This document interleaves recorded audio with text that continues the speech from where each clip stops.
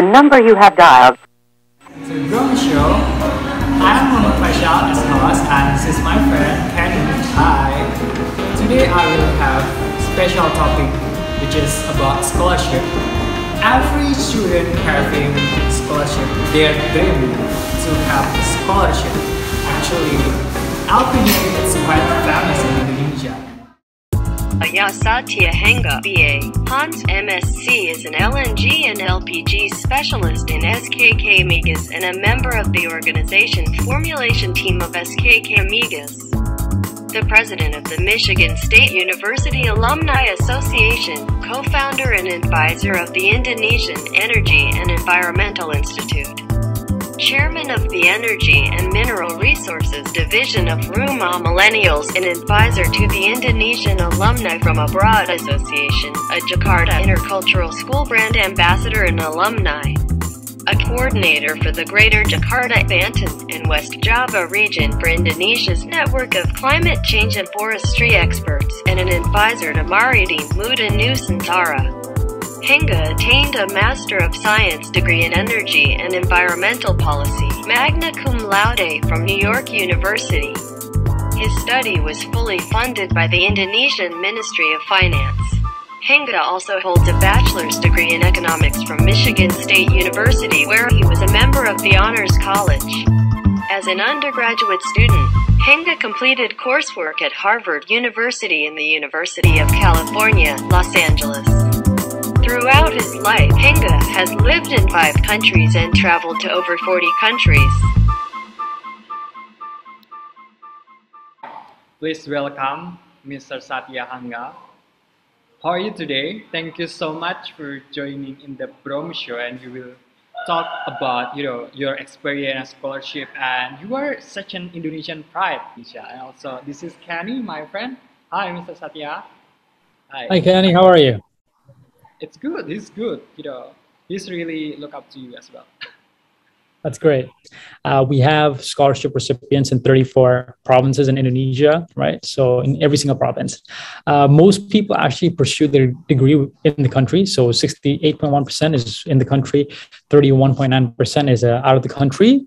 And if you uh, look at the uh, you know stats and also the data uh, that are out there, I mean, a large majority of the people pursuing their PhD are actually pursuing it in Indonesia rather than abroad. Whereas for their masters, uh, there's more people abroad, but the difference is not uh, that much, you know, compared to people who uh, decided to uh, really uh, pursue their degree uh, within the country. You know, and so we have a balance of you know both within the country as well as out, out of the country. And uh, you know, as a whole, we have people coming from all walks of life, uh, people of different passions and, and disciplines, and people working in the government, the public sector, and the private sector, and state-owned enterprises, being entrepreneurs, or you know, working at the university level, or maybe even having their own organizations. You know, and so uh, we have a diverse uh, group of individuals. I mean, we have over thirty thousand, right? now. we have tens of thousands of people. Uh, and we're scattered across, you know, 36 different countries.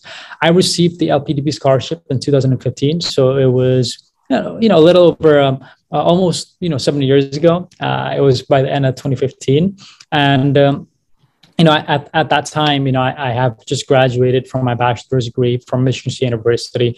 I was at MSU for a total of uh, three years.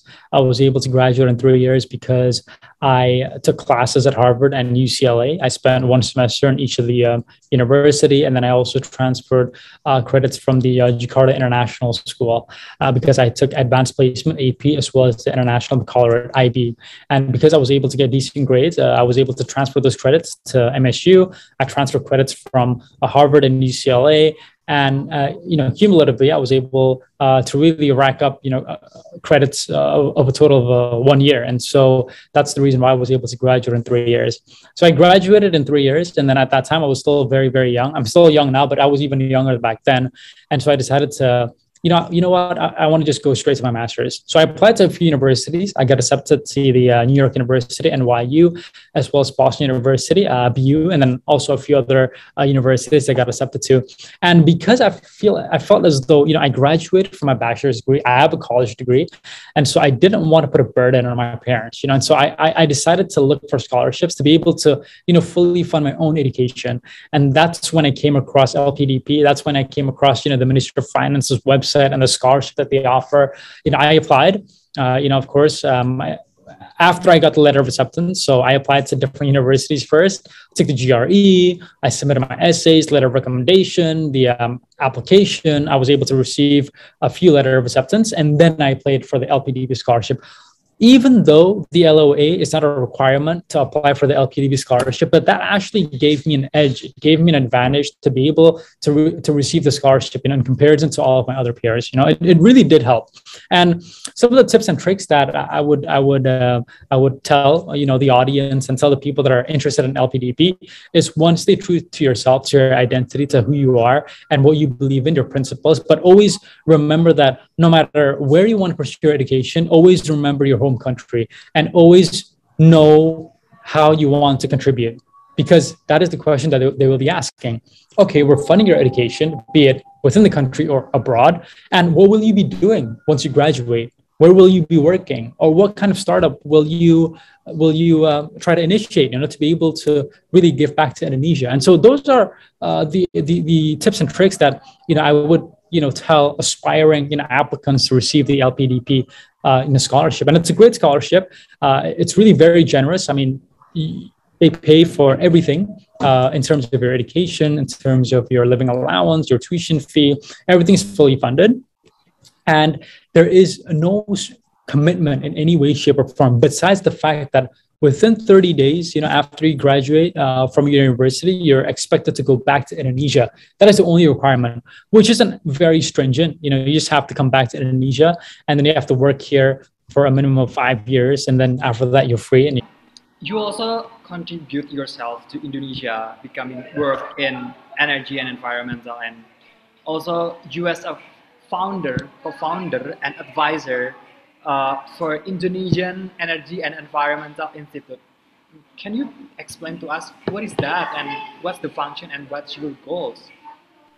Yeah, so I became a co-founder of IE2I, uh, which stands for the Indonesian Energy and Environmental Institute ever since I graduated from my bachelor's degree. So I went to Michigan State University, where I received a Bachelor of arts in economics. I was a member of the honors college, uh, and then uh, you know after after a year into my master's degree program, where I uh, I got my master's from NYU, New York University, Master of Science in Energy and Environmental Policy with magna cum laude, uh, and of course I was a scholarship recipient in 2015. So it was. Uh, uh, halfway through my master's degree program in 2016 that I decided to really establish a, an organization that focuses on energy and the environment because we do realize that Indonesia is a country that is heavily dependent on fossil fuels. I mean, fossil fuels really accelerates our economy, right? And it contributes to to, to our state revenue, you know. And so uh, we are rich in fossil fuels. Um, and uh, you know, if you look at the future, I mean, we're still very much dependent, but by the end of the day, it releases a lot of negative negative externalities. It contributes to global warming. It's negative consequences, which is climate change.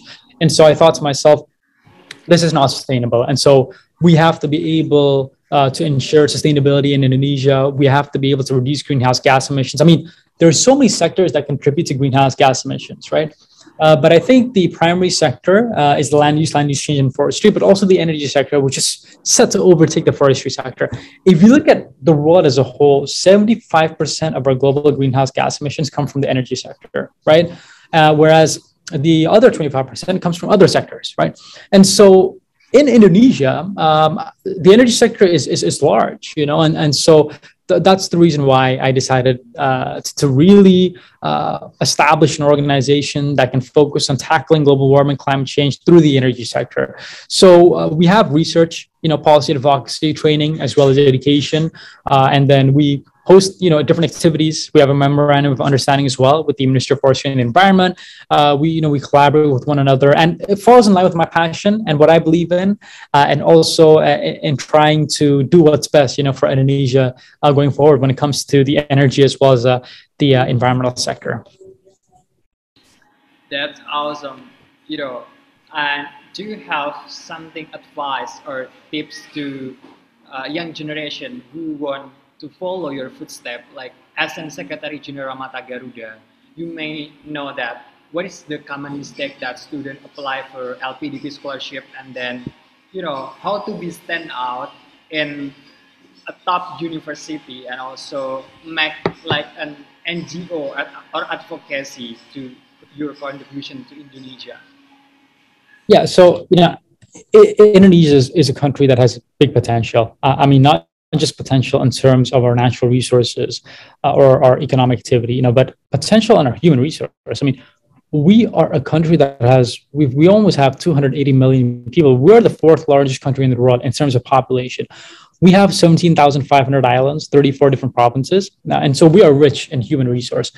A large majority of our population uh, is actually uh, the youth. You know, so when I say youth, I mean millennials, uh, I mean Generation Z, I mean uh, Generation Alpha. Uh, a large majority of them are, are, are youngins. You know, and so we'll reach our peak in 2030, and then we'll start to decline in 2035 in terms of our, the youth population. So we have to be able to maximize our uh, bonus demography, you know, and so our demographic dividend. And so it's important for uh, the government to be able to, to, to, give opportunities in terms of work, uh, in terms of you know career, uh, in terms of you know scholarships, being able to pursue higher levels of education. But you know, by the end of the day, uh, you know, I think it comes down to us whether or not we want to succeed. So if we have that uh, aspiration to succeed, we have that will, that drive, that determination, we can become someone, we can become successful, and we're able to achieve our vision and mission. For us to be able to get the LPDP scholarship, stay true to yourself, your identity, who you are, and know how you want to contribute to Indonesia. You know, that is how you should uh, really have in mind before you apply for the LPDP, uh, you know, scholarship. And you know, the uh, advice that I can give to the young generation is to always stay optimistic, always stay positive, stay true to yourself, know your passion, your area of expertise, and know how you want to contribute to Indonesia. And be open minded. You have to be able to adapt and adjust. And don't only focus on your hard skills, where you learn in the classroom, but also your soft skills. I cannot stress how important it is to enhance your soft skills. Enhancing our soft skills can come from organizations it can come from you know having your own company it can come from working at a company or in the in the government building your social skills building your networks because that is what is important your skill and knowledge, right, in terms of your hard skills is very important, uh, but it's even more important to have you know soft skills, being able to have that empathy, being able to ha- to handle your emotions well, being able to to, to really uh, you know you know instill among people your point of view, you know, and being a good listener as well. So not just being a good communicator, but also being a good listener. I think those are the skills that are vital for you to be able to you know succeed, uh, you know, in this life and be able to achieve your uh, uh vision and mission. Uh, that's great and you know how to start it like how to start to apply and everything like everything will be easy if we know how to start something. Like is it hard time to start? And maybe like so many students do not know how to start to be in successful yeah in order for us to start, um, we have to start as soon as possible, you know. And if you want to start, it has to come from yourself. But it has to come from within. You can listen to a lot of lectures. You can listen to a lot of webinars. You can also watch a lot of YouTube videos or go on social media. But it has to come from you, you know. And the the sooner the better, uh, because the sooner you want to improve yourself, uh, and the sooner it is that you want to succeed, then then the faster you are at improving yourself, you know. And take it one step at a time you won't be able to improve exponentially drastically but every day is a step forward you know and so that's what you should have in mind. And being able to, to, to really instill that within you being able to contribute is, is, already a big deal in itself.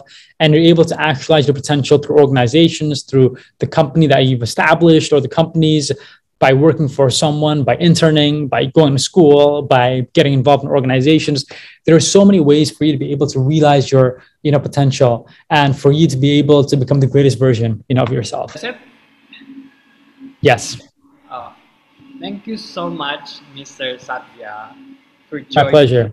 For joining Brom Show Worldwide Inspirational. You know, you give us such an inspiration, motivation, and how stepping stone to you know to become successful and I wish you good luck for everything and I wish you the best.